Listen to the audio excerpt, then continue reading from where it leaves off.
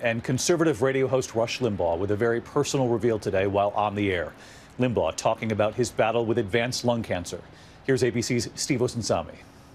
I have to tell you something today that I wish I didn't have to tell you. On the radio program that he has broadcast for the past 30 years, Rush Limbaugh shared today that he is fighting for his life. I have been diagnosed with advanced lung cancer. The kingmaker of conservatives, who often pokes his finger in the eyes of liberals, announced today that he'll need to take time away from the mic. The 69 year old says that his doctors found the late stage cancer after he started feeling short of breath which he first thought was asthma. There are going to be days that I'm not going to be able to be here because I'm undergoing treatment or I'm reacting to treatment. Limbaugh has had health issues before, but nothing like this. He lost his hearing and got much of it back in 2001 with the help of a cochlear implant seen here.